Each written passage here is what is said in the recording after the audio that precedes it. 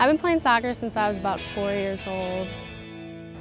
When I was younger, I had a coach that really was like enforced discipline and told us what we needed to do to get things done.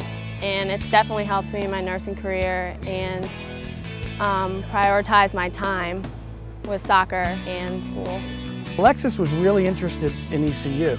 Um, and she contacted us first, and it was mainly because of the nursing program as well. She wasn't considered a star recruit, but she worked her way to being, um, you know, in our in our lineup, and has done a great job. Where, you know, maybe her freshman year didn't get as much playing time, but then, you know, you look at last season and she scored five goals for us. I kind of wanted a challenge. I didn't think, I was pretty sure I probably wasn't going to come in and play, but I wanted to come in and see if I could make a difference. So I came here and I've loved it.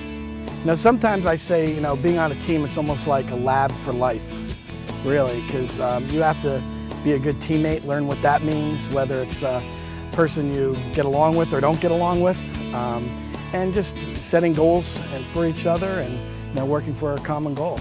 In nursing, you're not just working with yourself. You're working with the doctors med students and other nurses. And then it's the same thing with the team. Like, you're not, it's just not you. You have to work with everyone. You have to gel with everyone. I know the nursing program is demanding, no question about it. And it's probably one of the toughest majors, I think, to do soccer and, uh, you know, be a nurse. I mean, when you can think, imagine someone going to clinicals at 6 a.m., you know, getting out at 2, 2.30, and then having to come to soccer practice. But these are things that, you know, they have to do, but in the end, I think when they're nurses, they're going to have to be doing the same thing, you know, balancing family life and being a nurse and all those things. So hopefully that's preparing them for you know, their career as well.